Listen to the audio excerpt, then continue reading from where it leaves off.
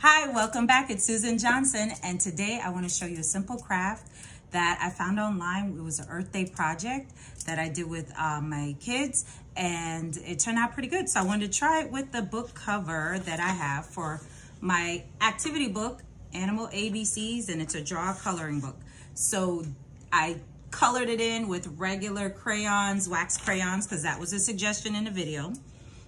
And then I want to make it a little bit extra fancy by adding like a burst of color. And it should turn out like the other one did, but let's see. All right, and I'm going to also post a picture um, and information on where I found that video in my comments, so definitely check them out. All right, so regular foil, and I make sure the foil fits over the entire paper. I'm going to show you.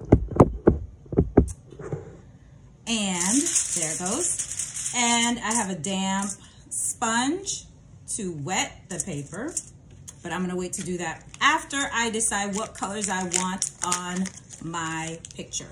So any kind of permanent marker she'll do. And you'll notice some colors will show up better than others, no problem. I did quite a bit of colors because I wanted to make sure that I have a lot of bursts. And sometimes I went over and over some, like, because some of them show up better than others. That's a nice blue. I'm going to mix it in with the green. And however big you make it, wide I mean, you will get that kind of burst on your paper. So think about that when you're coloring it in. see if I can get any more out of this green. A little bit more.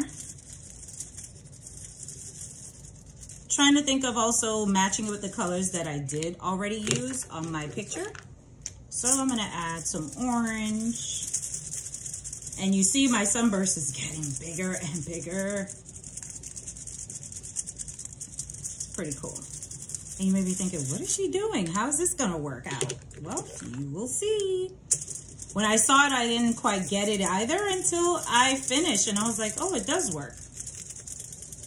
And I'm working kind of swiftly because I do not want the permanent marker to dry really hard yet because that is part of the treatment.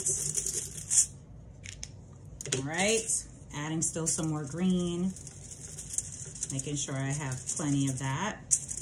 Adding it throughout, just because I like it.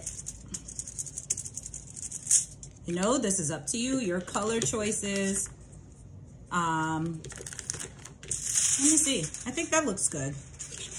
Let's see what it's gonna look like. And really, there's no mistakes with this. You're just playing with it. You could, I went back to mine and added more colors I thought I needed. So I have my picture flat. I just put another paper under it because I am gonna use a wet sponge to kind of dampen it.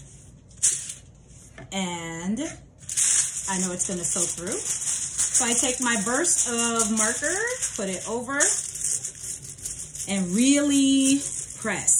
I press, massage, press, massage, make sure I try to get all the color off. And this is the part where I say you could keep adding because once this is done, if you want to add more, you can keep going or you can leave it the way it is.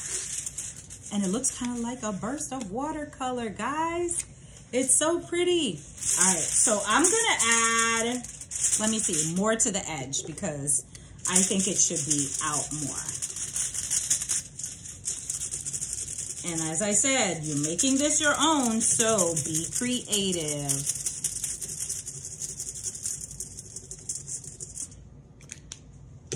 Awesome.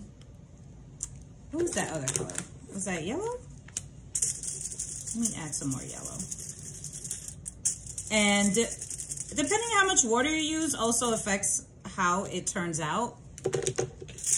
Last time when I did it, I didn't use a lot of water, so that's why I used so much this time. But let me go ahead and make this bigger. Massage in more color.